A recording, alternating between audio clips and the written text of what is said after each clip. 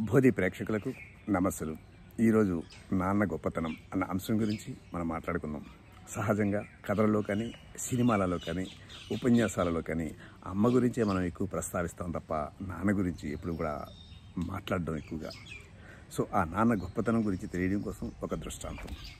ఒకరోజు ఒక తండ్రి ఆ కుమార్తె ఇద్దరూ కలిసి ఒక గ్రామం గుండా వెళ్తుంటే మధ్యలో ఆ నది దాటవలసి వస్తుంది. ఆ నదిలో దిగి ఆ నదిని దాటుకుని అవతలకు వెళ్ళాలి. ఆ తండ్రి కుమార్తెతో చెప్తాడు అమ్మ నా చెయ్యి పట్టుకో నది దాటే వరకుని వెంటనే ఆ అమ్మాయి అంటుంది లేదు నాన్న నువ్వే నా చెయ్యి పట్టుకో అంటుంది. ఆ తండ్రి అంటాడు దానికి దీనికి తేడా ఏమిటి? అంటాడు లేదు నాన్న నేను పట్టుకుంటే పొరపాటున చెయ్యి జారవచ్చు లేకపోతే వదిలేయవచ్చు అదే నువ్వు పట్టుకుంటే ఇట్టి పరిస్థితుల్లోనే కూడా నన్ను వదలవు కదా నాన్న. అది దానికి దీనికి తేడా అంటే అతను నిశ్చేష్యుడైపోయి వెంటనే ఆ కూతుర్ని కాగలించుకుని నా బంగారు తల్లి ఇప్పుడే కాదమ్మా నా జీవితాంతం కూడా నిన్ను అట్లా కాపాడుకుంటూనే ఉంటాను అంటాడు. అప్పుడు ఆ అమ్మాయి చెప్తుంది నాకు తెలుసు నాన్న కడుపులో తొమ్మిది నెలలు అమ్మ కాపాడింది. కానీ తర్వాత జీవితం అంతా కాపాడవలసింది నువ్వే కదా ఏదొచ్చినా చూడవలసింది నువ్వే కదా.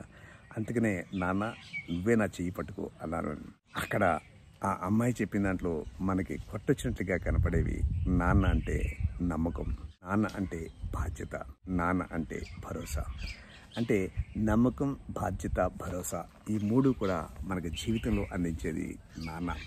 కానీ నాన్న యొక్క ఆప్యాయత నాన్న యొక్క ప్రేమ అమ్మ ఎక్స్ప్రెస్ చేసినంతగా నాన్న ఎక్స్ప్రెస్ చేయలేడు కాబట్టి ఎక్స్ప్రెషన్లో కూడా యుధిష్ఠిరుని అడిగిన ప్రశ్నలో భూదేవి కంట గొప్పది ఏది అంటే అమ్మని చెప్పాడు.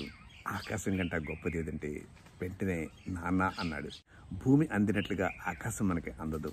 అందలేదు కదా అని చెప్పి ఆ ఆకాశం లేదు అని మనం అనకూడదు. కానీ మనకి కావలసిన ఆ ఆహారాన్ని ఆ వర్షాన్ని ఇవన్నిటిని ప్రసాదించేది ఆ ఆకాశమే కాబట్టి నాన్న మనకి కనపడకుండా అందించే ఒక ప్రేమ.